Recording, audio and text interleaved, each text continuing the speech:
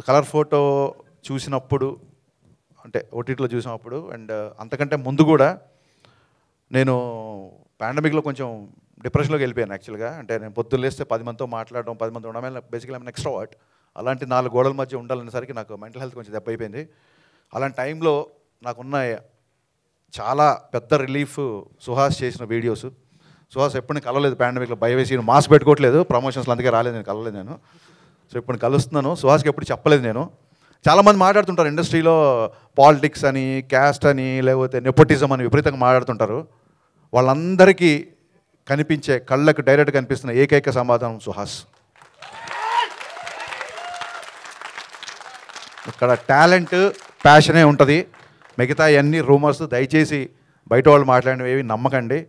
ఇక్కడ ఎవరు ఏ క్యాస్ట్ ఎవరు ఏంటి ఎవరు ఫాదర్ ఎవరు ఏం చేస్తారు ఎవరికీ తెలియదు సో సుహాస్ లాంటి వ్యక్తి అంటే సుహాస్ సక్సెస్ అయినప్పుడు నాకు ఏమనిపించిందంటే ఇది ఒక సుహాస్ సక్సెస్ కాదు సుహాస్ లాంటి వాళ్ళు ఇప్పుడు ఇదే స్క్రీన్ మీదలో ఇదే థియేటర్లో అక్కడ అక్కడక్కడ కూర్చున్నారు నా ఫీలింగ్.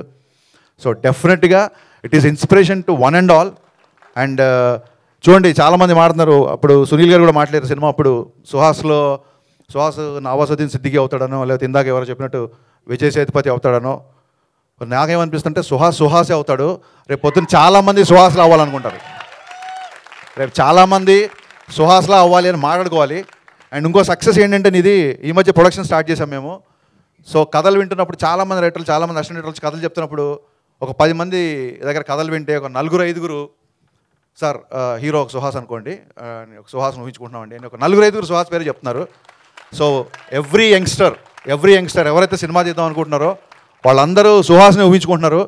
సో సుహాస్ నీ భవిష్యత్తు ఎలా ఉంటుందో నీ హోగే వదిలేస్తాను డెఫినెట్గా ఇందాక ట్రైలర్ చూసినట్టు చాలా మంచి టైమింగ్ ఉన్న వ్యక్తి. నా నేను రిలీజ్ అయ్యాను ఒక మూడు మూడు నిమిషాల నుంచి సుహాసనే పోగొడుతున్నాను. ఇది ఎర్లీ స్టేజ్లో అది అంత కరెక్ట్ కాదు. నువ్వు ఇలాగే ఉన్నంతకాలం ఇలాగే ఉంటావు. All the best